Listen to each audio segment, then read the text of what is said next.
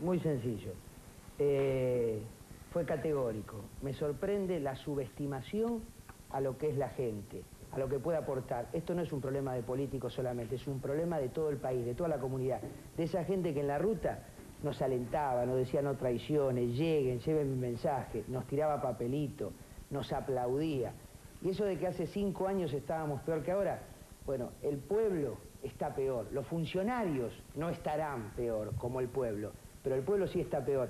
Y por eso con toda claridad, lo que más les duele es que esa plaza ha gritado con toda su verdad que no solo va a cambiar la cara del presidente en el 95, quiere cambiar el modelo económico, político, social y cultural, que es la madre de las desgracias que hoy está padeciendo nuestro pueblo.